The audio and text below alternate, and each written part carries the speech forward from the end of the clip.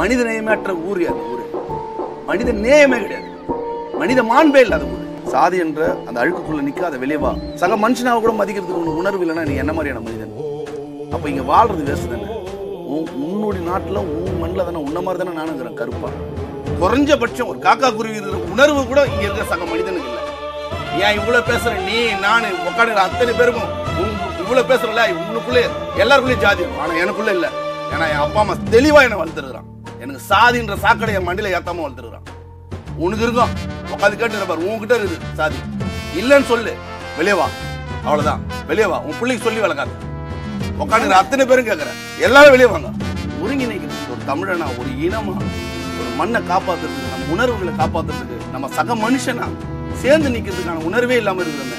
பல கட்சியா பல ஜாதியா பல மொழியா பல இனமா அப்படி பிரிஞ்சு பிரிஞ்சு இருக்கிறோமே. மதமா? ஏன்? ஒரே மொழி தானே பேர் தமிழ். வாயன் உள்ள. ஒரே திராவிடம் தானே வாயன் உள்ள. வந்து பேச.